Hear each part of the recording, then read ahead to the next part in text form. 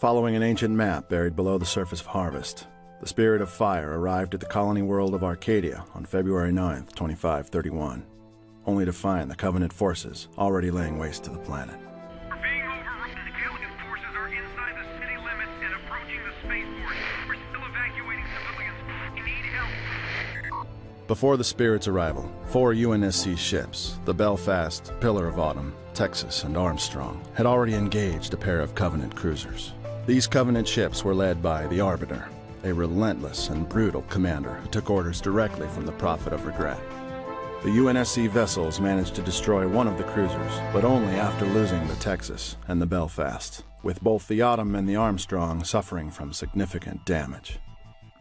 Upon receiving a distress call from Arcadia's surface, Captain Cutter and the ship's AI, Serina, deployed groundside forces to aid the civilian evacuation. Arcadia and its capital city of Pirth, once considered a luxurious tourist destination, were now being reduced to ash. It was there that Sergeant Forge fought alongside Spartans and Marines, forcing the Covenant out of the capital city and into the planet's unexplored regions. This success, however, was only momentary, as the Covenant focused entirely on a remote area, constructing a massive energy shield to hide their activity.